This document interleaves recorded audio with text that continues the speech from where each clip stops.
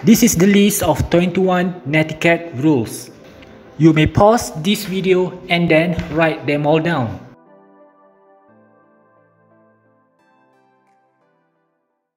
The learning objective for this topic is that after watching this video, students can identify the rules of netiquette.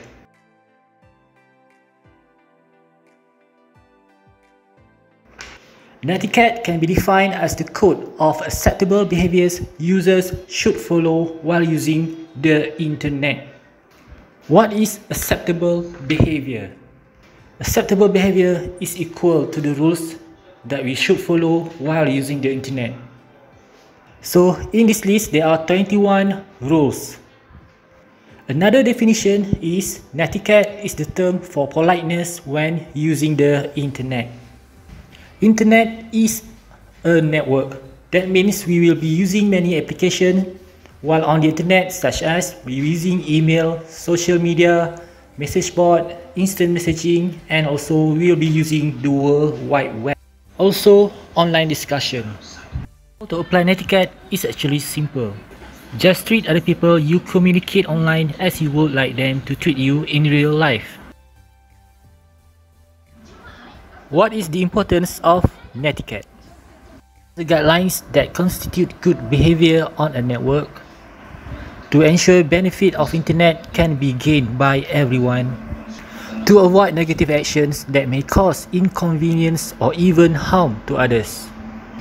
And to respect others privacy because internet users come from different background and nationality. Billion of people using the internet but not many people realize netiquette exists. Just because they think they can hide and cannot be traced, make them sending or posting message that may cause inconvenience to the other. How to promote awareness of netiquette? Netiquette can be promoted using printed media such as poster, pamphlet, brochure, magazine, newspaper and display them in public areas such as buildings, schools, colleges and also shopping complex. Advertise the awareness of netiquette on electronic media such as televisions, online social networks, e-magazine and also e-newspaper organize program, campaign, competition such as at school so that the community can be aware on netiquette at the early stage.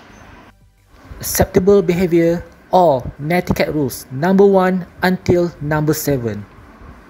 While composing an email, use meaningful subject line. Subject line is the title of the email that you send a meaningful subject line help your recipients to organize their email message. It also makes sure the recipients want to open the email that you send.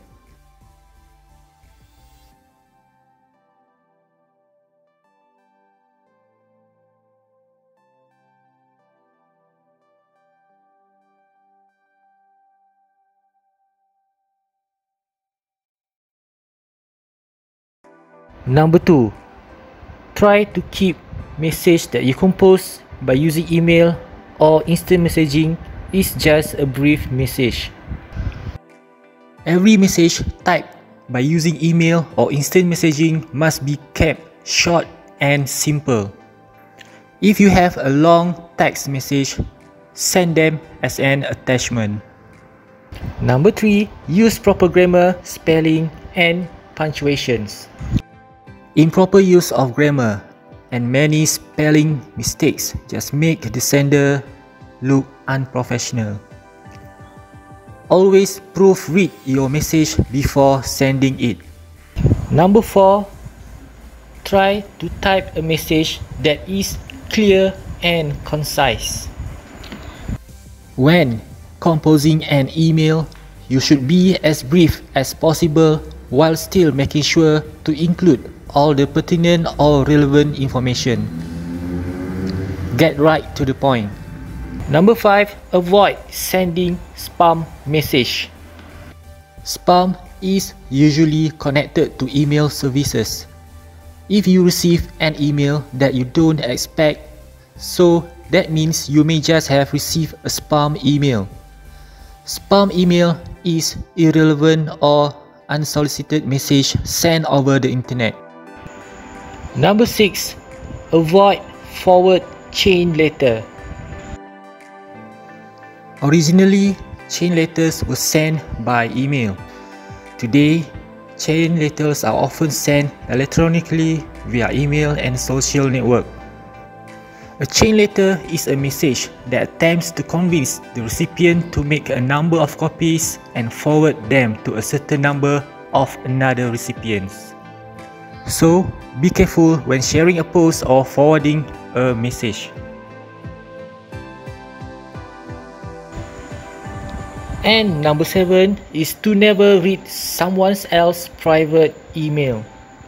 When using a public computer such as at the library or a cyber cafe, someone may forgot to log out of their email account or instant messaging account. Being an ethical person, don't read their message. Instead, help them to log out.